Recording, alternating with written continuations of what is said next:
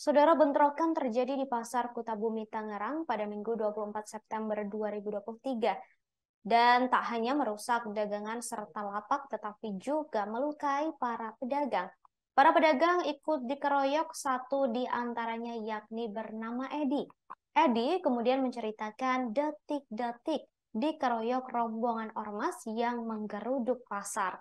Edi pun mengaku tidak tahu pasti dari mana dan siapa ormas yang menggeruduk tempatnya mencari nafkah. Para anggota ormas itu menyerang pasar menggunakan bambu dan kalung rantai. Mereka menyerang pasar sekira pukul 16 waktu Indonesia Barat. Edi kemudian lari melihat kerusuhan tersebut, namun secara membabi buta Para anggota ormas itu mengejar dan menyerang Edi secara membabi buta pula. Akibatnya saudara Edi mengalami sejumlah luka di sekujur tubuhnya seperti di bagian tangan, pelipis, dan juga jari. Bahkan hingga kini, dada Edi masih terasa sesak karena terkena lemparan batu. Hingga kini, saudara pedagang pun juga enggan berjualan di pasar Kutabumi lantaran masih merasa trauma dengan peristiwa penyerangan tersebut. Diperkenalkan dengan nama siapa? Edi, pedagang pakaian di pasar Kutabumi ya. Om Edi, Om Edi, uh, selamat pagi. Bisa dilihat ya luka-lukanya om? Sini nih biru nih sebelah sini biru nih.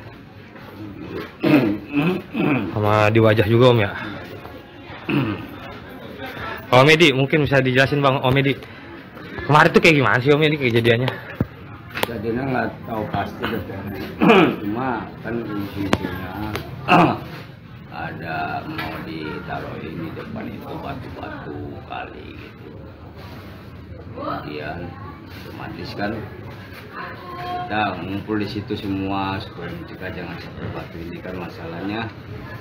Pasar itu kan belum belum dilakukan dibangun. Dan masih proses hukum juga ya di PN Tangerang masih masih dalam perkara hukum. Jadi aku sampai perkara hukum kan. Mereka mendesak waktu itu mereka itu kan udah siap kumpul. Ternyata mereka memakai ormas ormas mungkin nggak tahu lah ormas mana detailnya ya. Kita nggak bisa sebut ini ya.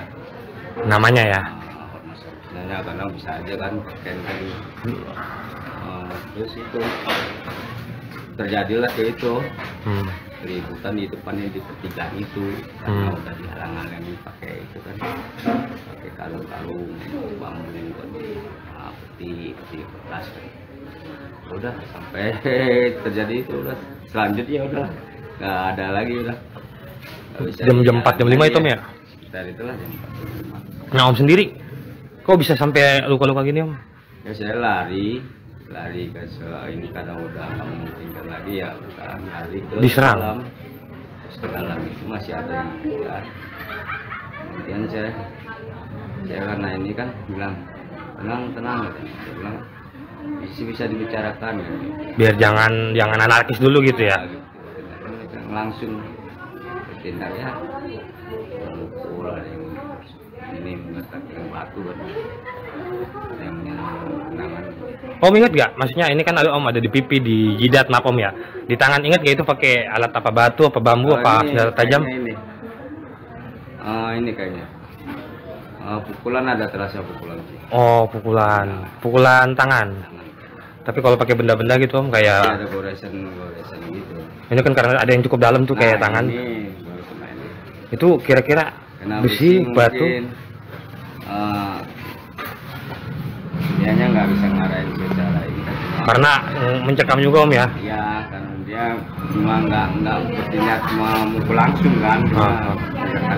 cuma sedikit banyak kena akhirnya kena ini. Itu sempat setelah kena ini cukup untung kan Pak Om ya? Udah satu aksi kekerasan itu rasa sih agak ini dikit puyeng dikit langsung udah saya lari aja udah itu udah. Oh berarti pas. Nah itu om setelah ini kan ada di kepala juga nih om ya. Maksudnya di area wajah gitu. Ada dampaknya gak semalam mungkin. Ini kan kalau kemarin sore ya, ya dampaknya gitu. Tadi malam merasa apa? Di dada nyesek nih karena kena batu waktu di pertigaan itu. Dilempar atau pukul? dilempar itu. Batu? itu pas dilempar batu semua. Sampai sekarang masih? Masih terasa sih. Masih Ih. masih terasa nyesek Om ya? Terima kasih sudah nonton. Jangan lupa like, subscribe, dan share ya.